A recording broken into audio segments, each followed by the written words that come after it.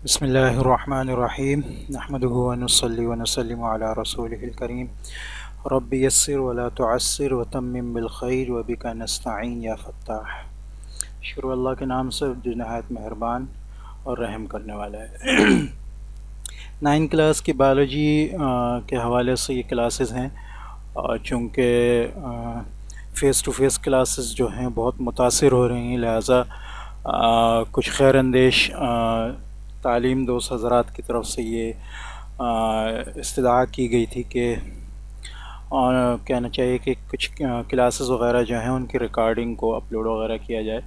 तो उस सिलसिले में ये नाइन्थ क्लास की बायोलॉजी के लिए ये पहली वीडियो है।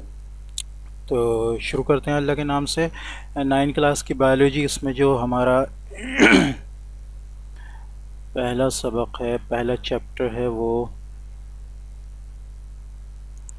हयातियात का तारफ़ है। ठीक है? तो यहाँ हम हयातियात का जो तारफ़ है उसमें आज की जो हमारी वीडियो है उसमें हम आ, इसका तारफ़ देखेंगे इसकी तारीफ़ देखेंगे और इसके बारे में जो है आ, इसकी जो तारीफ़ है उसको अच्छी तरह समझने की कोशिश करेंगे।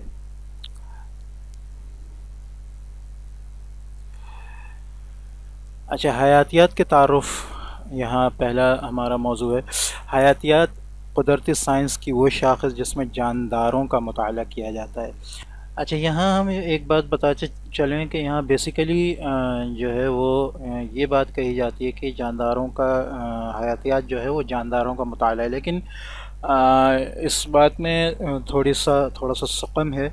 उसकी वजह यह है कि हयातियात में हम जानदारों के अलावा कुछ बेजान, कुछ नहीं बल्कि काफ़ी बेजान अशिया का भी हम मताल करते हैं। लेकिन ये बात ज़रूरी है कि हयातियात में हर बेजान जो है वो अशिया का मताल नहीं किया जाता, सिर्फ़ उन बेजान अशिया का मताल किया जाता है जो कि जानदारों से मुंसलिक हैं। तो हम ये कह सकते हैं कि हयातियात बेसिकली बुनियादी तौर पर जानदारों का मताल है और उनसे मुतल कुछ काफ़ी बेजान चीज़ों का मताल है। अब उसकी मिसाल में हम देख लें कि पानी पानी एक बेजान चीज़ है, लेकिन चूँकि उसका मताल बायोलॉजी में, हयातियात में किया जाता है उसकी वजह यह है कि वो जानदारों के साथ बहुत ज़्यादा मुनसलिक है। इसी तरह कार्बन की मिसाल हम ले लें, प्रोटीन की मिसाल ले लें, ये दोनों चीज़ें बेजान हैं, ये दोनों आइटम जो हैं मादे बेजान हैं।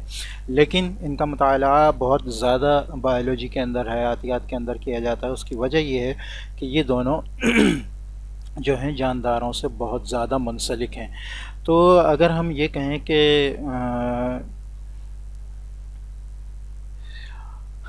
हयातियात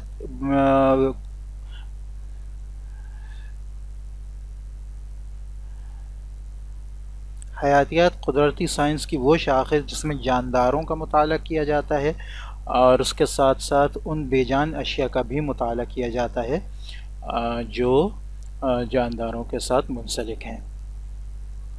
अच्छा इसकी मज़ीद वजाहत इन्होंने की, ये शाख जानदारों की जसामत, उनकी अशकाल और बनावट के मुतक़ मालूम फ्राहम करता है, करती है। ठीक है।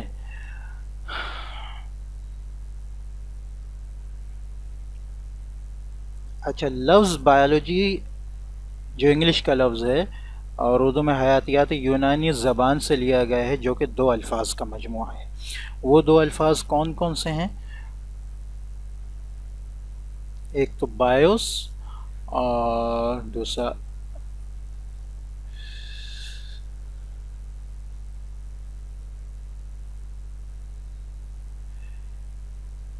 लोगोस ठीक है? ये दोनों सामने आपके नज़र आ रहे हैं। तो बायोस का मतलब जो है वो ज़िंदगी है और लोगोस का मतलब सोच फ़िक्र या यूँ कहें कि मुताला है आ, उसके बारे में फ़िक्र करना है। तो बायोज़ असल में यहाँ जो इसके अल्फाज से जो मायने अक्स होते हैं, वो ये होते हैं कि ज़िंदगी का मताल। और ये एक ज़्यादा अच्छी तारीफ़ है, अगर हम ये तारीफ़ करें कि बायोलॉजी जो है, वो ज़िंदगी का मताल है तो उसमें वो बेजान अशिया भी आ जाती हैं, जो ज़िंदा जानदारों से मुंसलिक हैं। अच्छा ज़िंदगी क्या है? अच्छा वैसे तो हम ज़िंदगी को जो है, वो किसी तारीफ़ में बंद नहीं कर सकते हैं, ठीक है? लेकिन कुछ चीज़ें ऐसी हैं जिनकी वजह से हम जो है, हयातियात को जो है, वो ज़िंदगी को पहचान सकते हैं।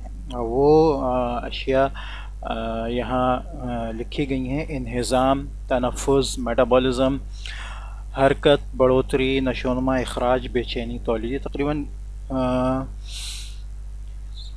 नौ तकरीबन नौ चीज़ें हैं। इन्हज़ाम इन्हज़ाम जो है किसी भी जानदार के अंदर, जो उसके अंदर खाने की अशिया जाती हैं, जो वो चीज़ खाता है वो जाकर उनको जो बड़े पार्टिकल्स को, बड़े अज्जा को जो छोटे अज्जा में तकसीम करता है, जो निज़ाम किसी भी जानदार के अंदर। वो इन्हिज़ाम का वो कहलाता है, निज़ाम कहलाता है। और ये सबसे पहला वो निज़ाम है जो किसी भी जानदार को बेजान से अलग करता है। दूसरी है कि उनके अंदर तनफ़ होता है। आमतौर पर ये सोच, समझा जाता है कि तनफ़ जो है, वो ऑक्सीजन का अंदर जाना और कार्बन डाइऑक्साइड का बाहर आना है और यानी गैसों का ट्रांसफ़र है। आमतौर पर तलबा यही समझते हैं, लेकिन इसकी बुनियादी मिसाल जो सही जो तारीफ़ है वो ये है कि जो चीज़ें डाइजेशन से यानी इन्हज़ाम से जो चीज़ें टूट कर छोटे पार्टिकल्स में, छोटे अज्जा में तकसीम हो जाती हैं, उनसे, उनको मज़ीद तोड़ कर उनसे एनर्जी जिस निज़ाम के ज़रिए हासिल की जाती है, वो तनफ़ कहलाता है। तीसरी चीज़ जो है वो मेटाबॉलिज़म में, इन दोनों निज़ाम के अलावा बहुत सी चीज़ें जो हैं, वो इंसान के जानदार के अंदर जो हैं, वो टूट रही होती हैं और बन रही होती हैं, जिनमें सबसे बड़ी मिसाल जो है, वो खुलिए की है। तो ये जो चीज़ें इनमें इसकी दो किस्में एनाबॉलिज़म और कैटाबॉलिज़म तो ये दोनों निज़ाम जिसमें, जिसम के अंदर कोई चीज़ बन रही होती है या टूट रही होती है मेटाबॉलिज़म कहलाता है और ये किसी भी जानदार की जो है वो तीसरी निशानी है उसके जानदार होने की। दूसरे, चौथी है कि हर जानदार हरकत करता अब ये हरकत दो किस्म की है।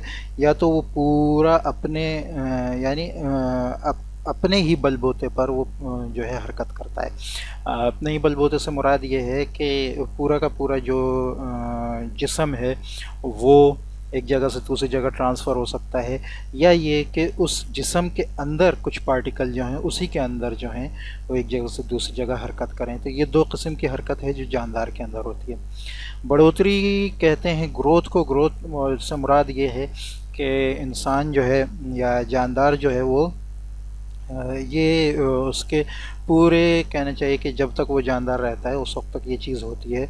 और उसका जो है, जिसम जो है मुख्तलिफ़ साइज़ की तरफ़ जो है, वो बढ़ता रहता है। नशो नुमा बुनियादी तौर पर किसी भी जानदार के अंदर शुरू में होती है जब उसके बुनियादी अज्जा जो है, वो बन रहे होते हैं और उसके अंदर जो है, वो सोचने, सलाह, समझने की सलाहियतें पैदा हो रही होती हैं।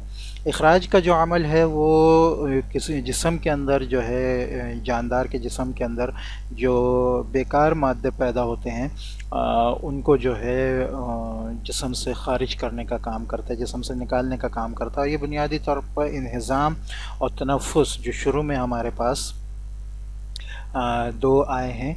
उनके आ, जो है